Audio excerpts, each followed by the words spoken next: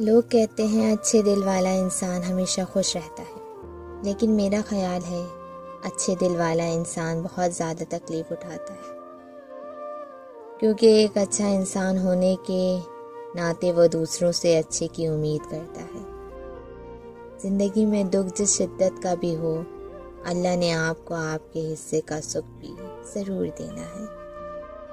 आपका हिसाब किताब शायद गलत हो जाए, लेकिन उसके पास सारा हिसाब किताब बिल्कुल अपनी असल हालत में मौजूद है। वो अगर दुख से गुजार रहा है तो सुख भी उसी के दर से ही मिलेगा। जर्द पत्ते जहाँ से उतरते हैं, सब्ज पत्ते भी वहीं से निकलेंगे इन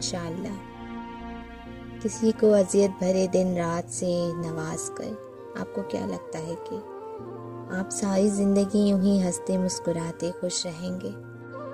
बस वक्त के उल्टे चक्कर का खेल है।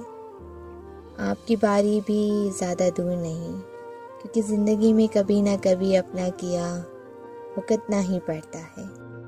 मर्द हमेशा अपनी बेरुखी से, औरत को खोता है। उसे कभी भी अपना दुत्कारा हुआ लहजा याद नहीं रहता। ना ही उसकी अना इस बात को कभी मानती है। मोहब्बत करनी है तो इतनी शिद्दत से करो, कि वो अगर तुम्हें छोड़ भी जाए तो। किसी और का ना हो पाए। आजकल की मोहब्बत का यही हसूल है।